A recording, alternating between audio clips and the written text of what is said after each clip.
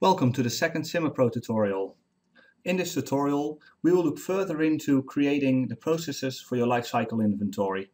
We will look at the process screen and we will create an assembly using the processes.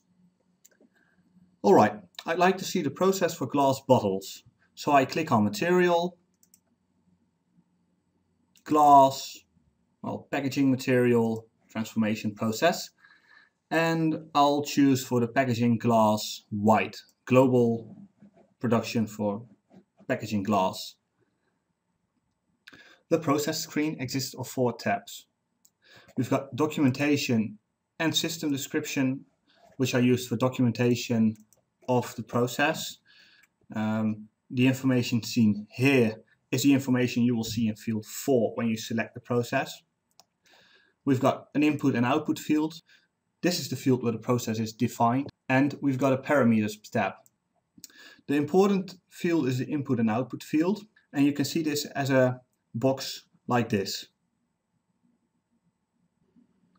This process consists out of a lot of in and outputs, which makes the field a bit unclear. I will open a new process so I can show you how the in and output field works. Here you've got your products, uh, the known outputs to Technosphere, products and co-products, that's the real product, that's the output. And you also have avoided products. Avoided products is important for allocation. The inputs consists of inputs from nature and inputs from the Technosphere. Uh, and you've got the outputs field, which is outputs to nature, like emissions or waste. Alright, let's say I'm going to process some glass and I have electricity and glass as input. My output is processed glass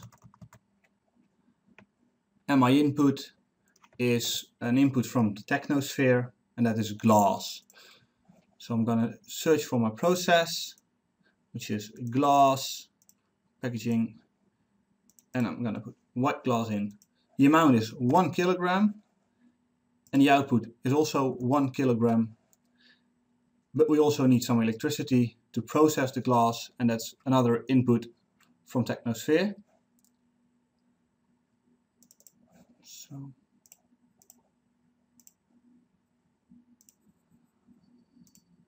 I'm sorry, energy, electricity by country mix.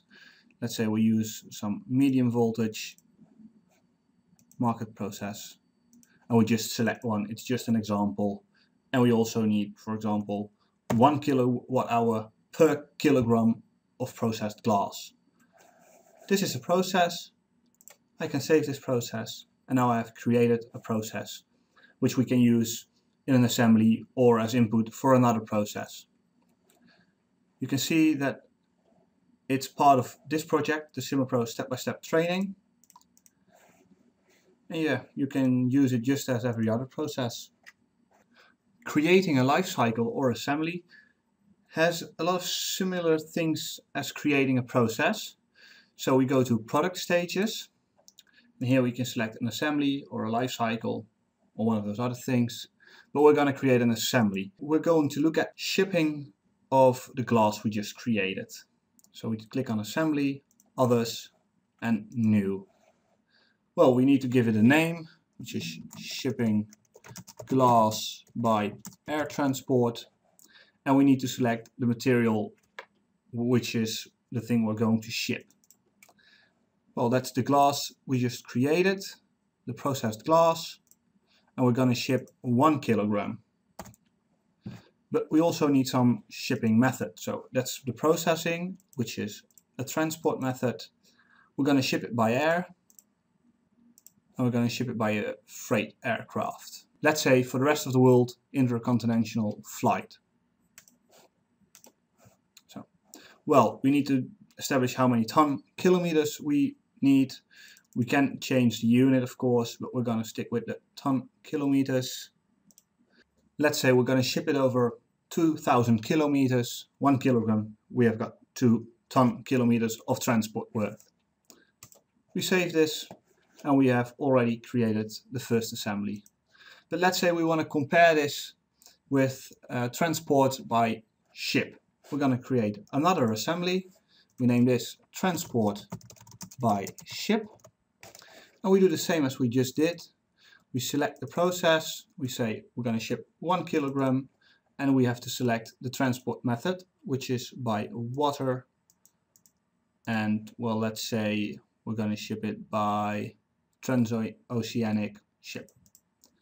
The distance is of course a bit different because we're going to use uh, a ship and let's say we have to ship it over 6 ton kilometers.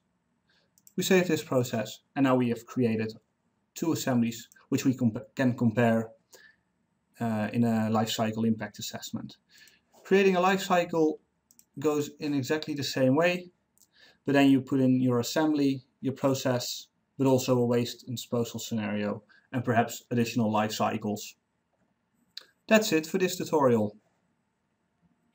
In the next tutorial we will look at creating a calculation setup and how we can conduct a life cycle impact assessment.